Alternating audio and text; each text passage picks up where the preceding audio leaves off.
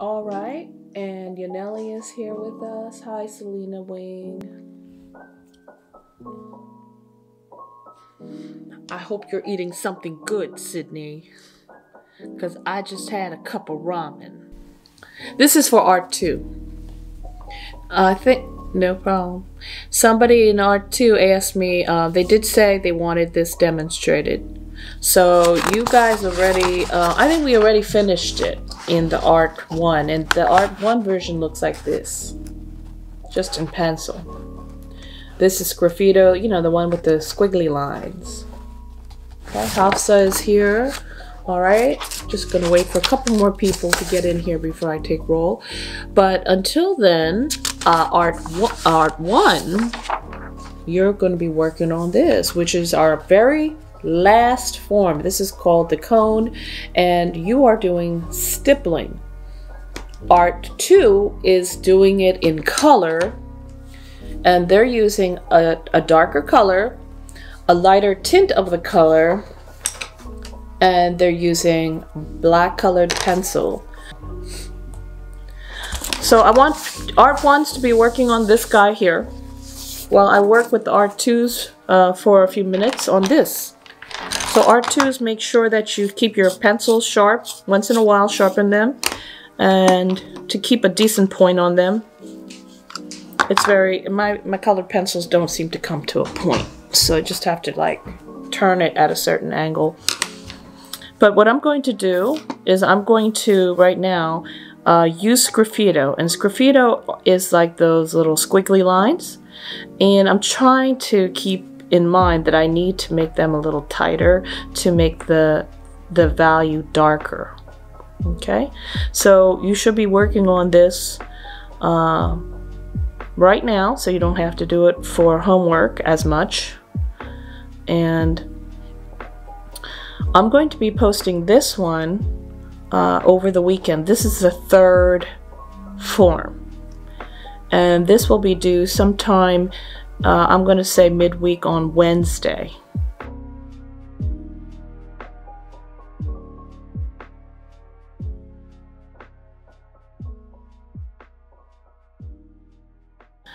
So I have my red down. So now I'm going to do a layer of black on top of that. And I can go back in with another layer of red if I feel like that it's not dark enough, the color. I want to kind of come up with like a dark red or, or wine. It's called a wine or burgundy color. So the shade color it is named sometimes it's given popular names like burgundy or, or red, you know, it's a wine color. Those are just popular names.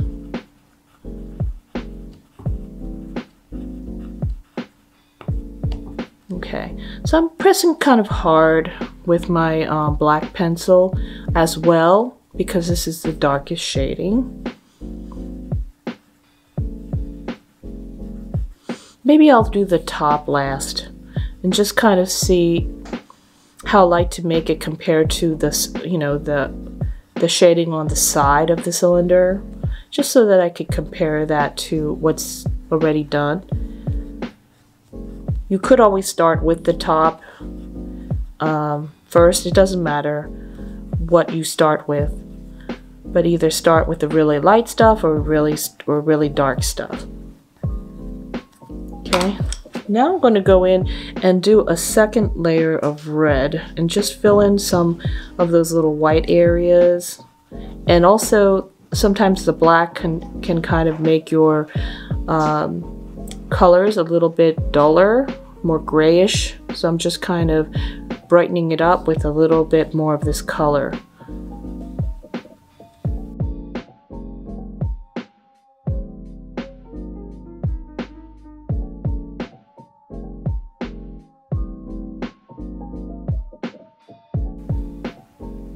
Just going in little squiggly directions, random squiggly directions.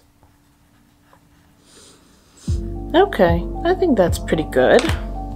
Now my next shade is going to be to the left because my light source is on the right.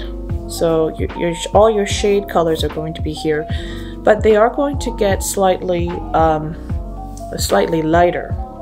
Okay, So I'm going to get the pencil, red pencil again, and this time I'm going to open up my squiggles just a little bit more. So they're not as tightly spaced. I'm going to show a little bit more of the white of the paper through in, in between my little squiggle marks.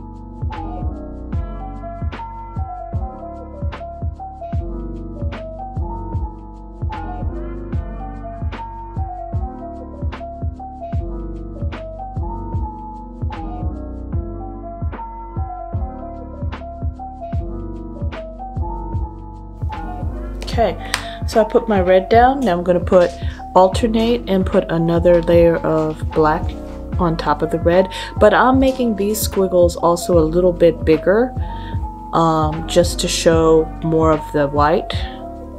And I am seeing some little white gaps here. And that's what's going to make this area right here look lighter than the one that we just finished the core shadow. This is going to be called our dark midtones.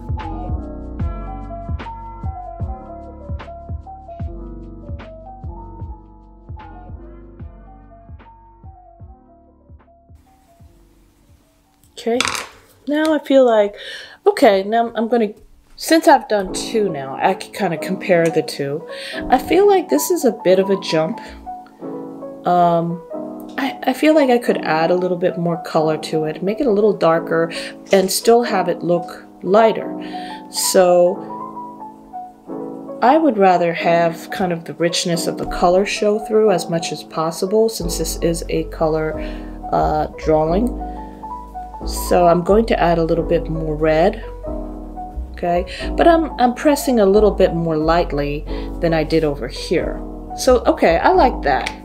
I like that. And maybe I'll add another little tiny bit of black. Not, not going to get too carried away or it'll start looking like my core shadow here. Just a little bit. Okay, then I'm going to stop right there.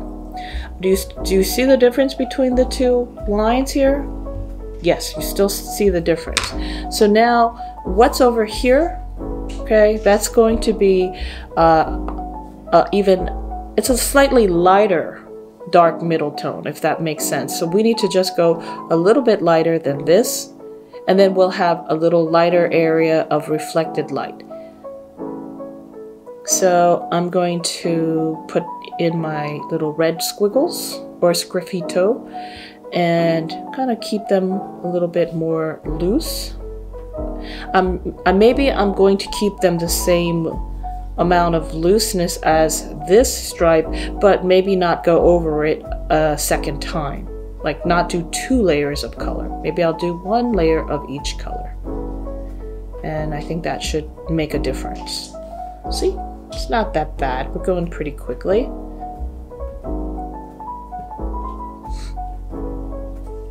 Boom, done already with the red. Now I'm gonna go in with the black.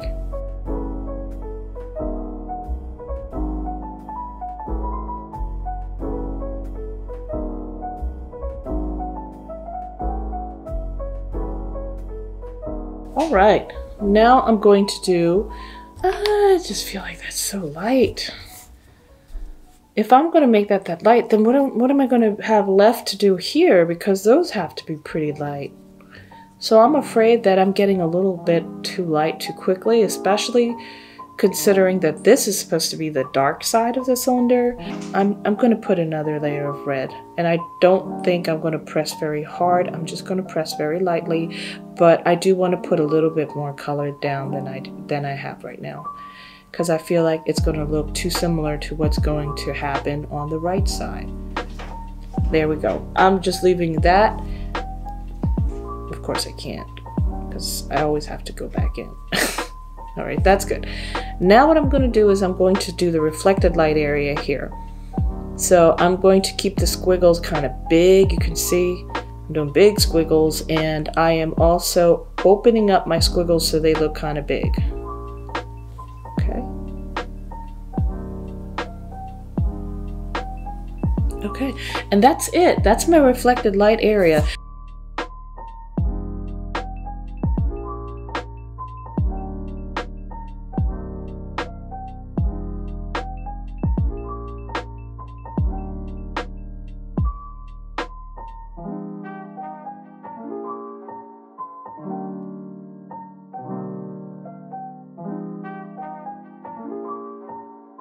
So I'm just right now just making my core shadow a little darker just to show you how much darker that it should be so that it pops and contrasts.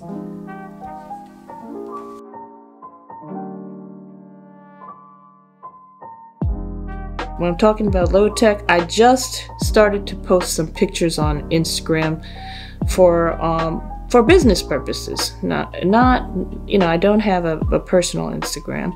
So i just learned how to do that on the computer. I didn't know that instagram was even a just pretty much a phone based system.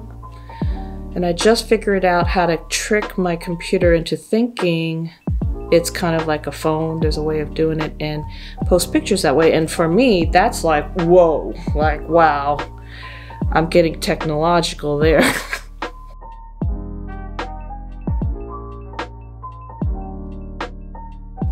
Whether I continue to post things is a totally different story.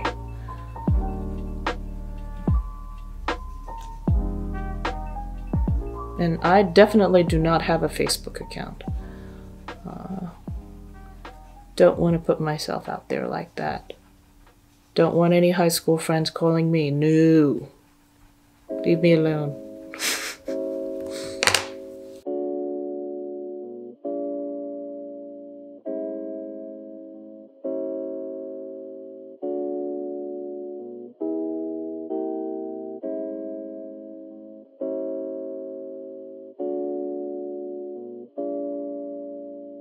You can see now when I add the black, it is much darker down here, especially right right under the can um, than the core shadow that I that I shaded right here. So we really need to keep those coils nice and tight there and also press really hard Make sure you press really hard with your colored pencil. Keep your coils tight so that there's less white of the paper showing through. And you may have to do two or three layers of pencil to really build up that uh, shadow color.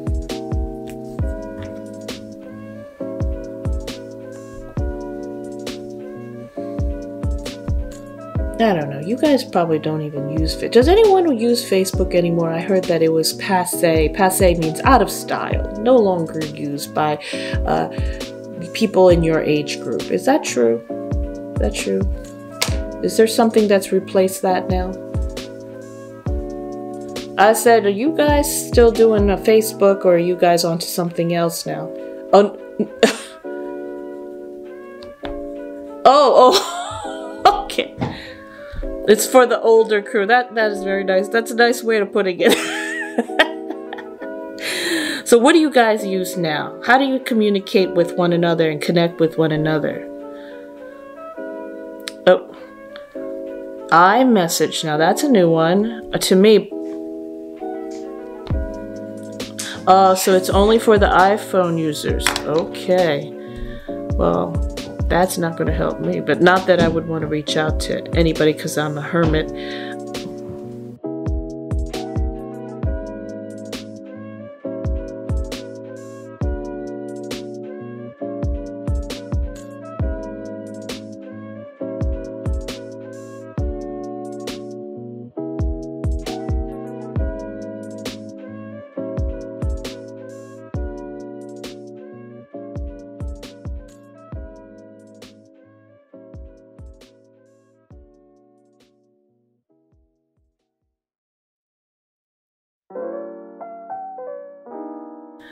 We're talking about Instagram and having a spam account for just casual, you know, friends and uh, quite casual acquaintances, but then and letting loose and being creative, but maybe not something you want your parents to see. That's very interesting.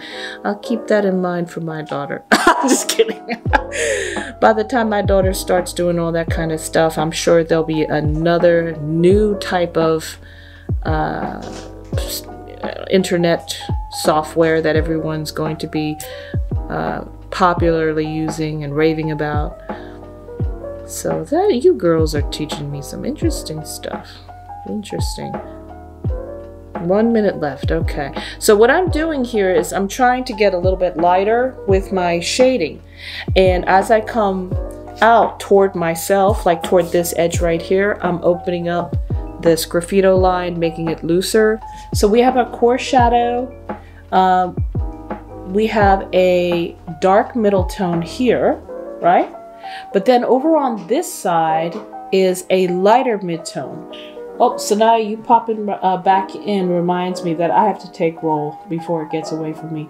Our light source is right over here on the upper right hand corner.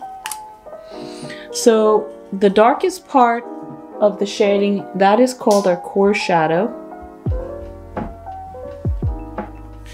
Uh, the second darkest is going to be our dark but we have two areas here, so let's see what, what are we going to do here. Why don't we call that our dark midtones? Or darker midtones, and then this could be our dark midtones. Because we split up the midtones into uh, two different areas of midtones. So we have darker midtones and dark midtones. And then finally on the very left, that's our reflected light area.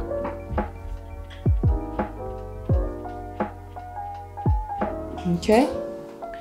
Then on this side, we are going to have our, let's see if we're gonna, we're gonna have our light midtones. We're gonna have our lighter midtones. And then we're going to have our highlight.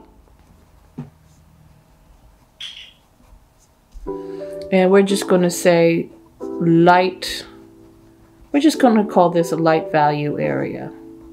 Just a, an area with a little bit of shading in it just to cover up this little pencil line here that makes up the side of our cylinder. Just so that we don't rely just on that line to see the cylinder.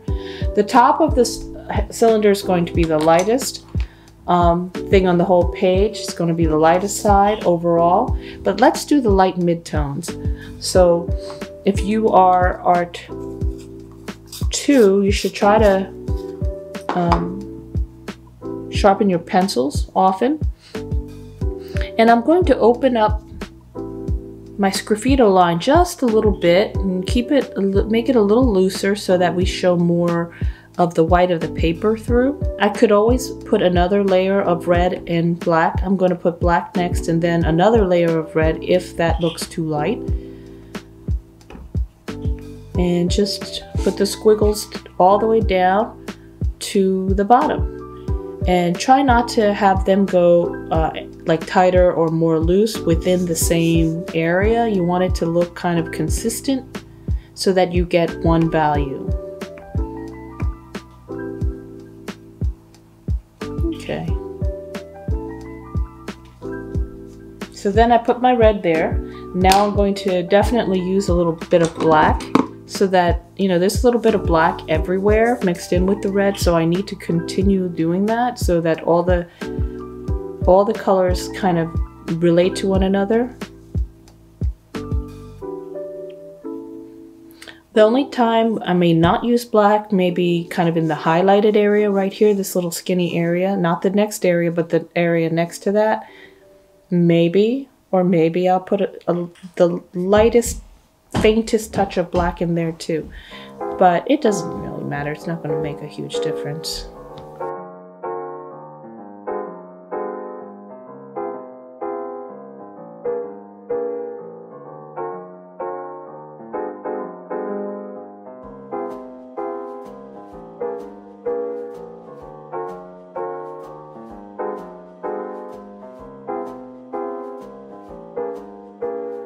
Get too light too quickly.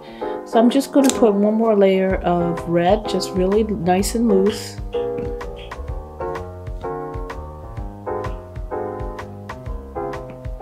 But I'm trying not to make it as dark as this over here. And I think it's not. It's not quite that dark, so I think that's fine. And I'm just going to leave it like this. Okay, so this is definitely lighter than this right here. Okay, now I need to go even more light. So how am I going to go even lighter when I'm using the same red pencil each time?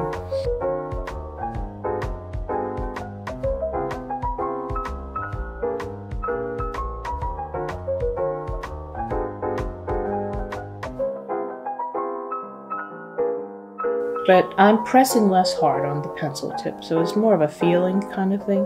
So I'm definitely pressing more lightly so that I don't get a heavy, dark red mark. Okay, so then that's it. That's lighter, even lighter than what I just did, and that's considered my lighter midtone. I'm still going to add a little bit of black, just really, really lightly, the faintest amount,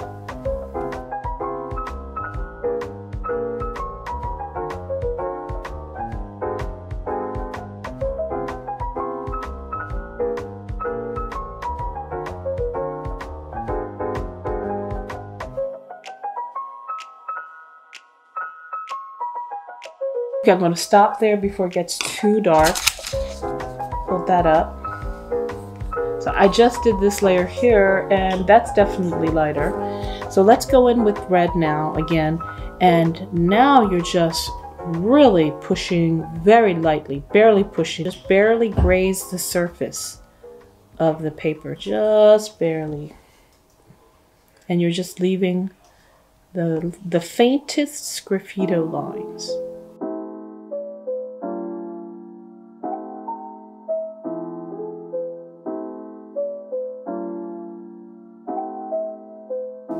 Going to add black to that. Now I'm going to go to this edge here. The only reason why we see the cylinder is because there's this gray pencil line there. I want to get the attention off this little pencil line here and just blend it away, cover it up with some value. If you need a dark outline to uh, see your drawings and your forms, then that is not a good thing you should let your shading at this point speak for you. Um, that is a little strong. So I'm going to take my eraser and I'm just going to lighten it up with the eraser.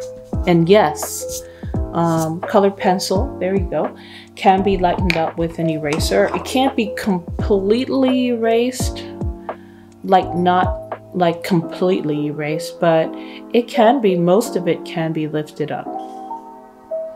And that could actually prove to be an advantage for you here because you might want to just remove a little bit of the color if you went a little too dark. I'm looking at my highlight and I'm like, hmm, maybe I want to make the highlight a little bit whiter, so I'm going to just run my eraser. But I like how that really faded that area of highlight here okay? And it's still textural. Let's do the top of the can. So let's put a nice super thin because this is supposed to be the lightest surface of all right? It's going to compete with the highlight on the side. So let's just try to use the, the lightest touch of all. I'm gonna I'm gonna lighten up this back here this back line just because it just it's so dark it's it's overbearing. And I'm going to fill it in with some shading and hopefully we won't need that line. You can barely see that but it's there. So right along this bottom left edge of the circle right here of this oval right here I want you to make that a little bit darker and also just kind of have it fade to the right and also fade as it goes toward the top of the curve here. So it's almost like a little crescent moon shape. So we're going to add a little bit of um, tonal variation. Remember that? Tonal variation is where you went from dark to light on each side of the cube. Remember when we did that?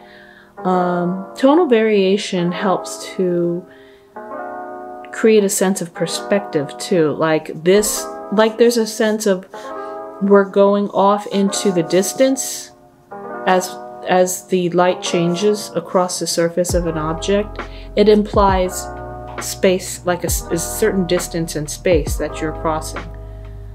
Um, it also, depending on how well you shade it, it'll also make the top of the can look like it's flat. It's not like the top of a muffin, which is like, you know, poofs up when you bake a muffin or a cupcake. You know how the the batter, when it cooks, it just like poofs up a little bit. It's not really supposed to look like the top of a muffin. It's supposed to look like super flat. So I'm creating a little bit of value and I'm fading it away as I go toward the center of the circle. Of the, I'm calling it a circle, but an oval because we're looking at it from an angle. So now there's tonal variation. Look at that. So it's not just pale like, you know, red. It's going from a darker value to a lighter value as I go toward the direction of my light source, which is over there. So this edge is going to be darker, but not as dark as all the shading but down below it, okay? So my only problem now is I like all the shading that's on the can or the cylinder, but I don't like the shading on the shadow. I feel like the cast shadow is way too um, pale, so I'm gonna just add a little bit more value to that so that it looks darker by pressing harder on my pencil. And we could probably do this just in a minute. It just does not take very long at all.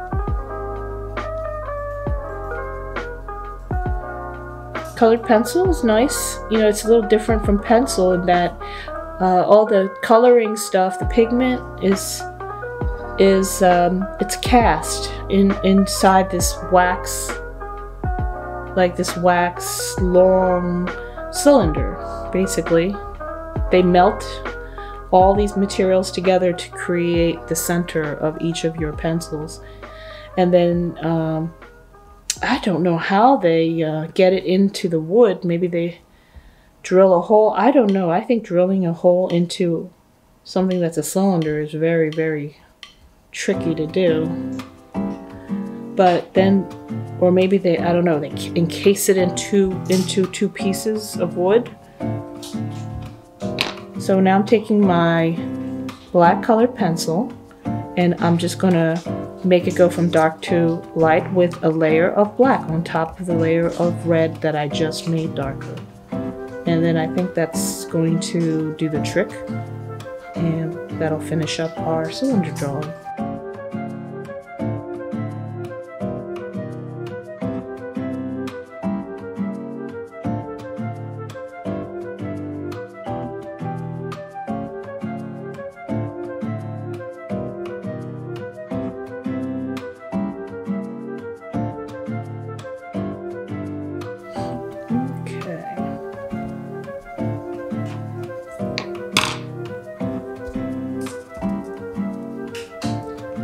So I had a young lady who did not like this texture at all. She like started kind of freaking out.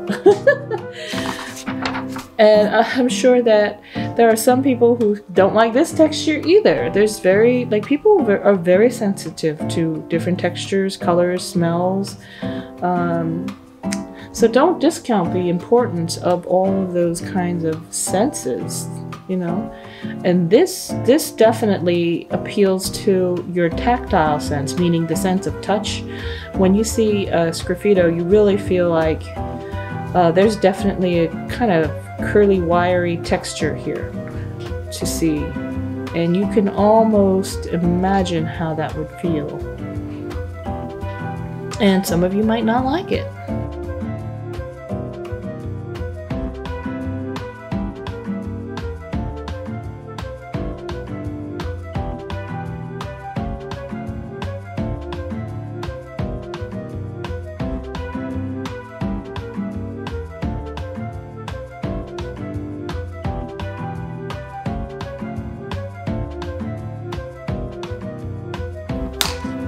So there, now I feel like that cast shadow is really nice and rich in color. So I think that's that's pretty successful right there for the cylinder.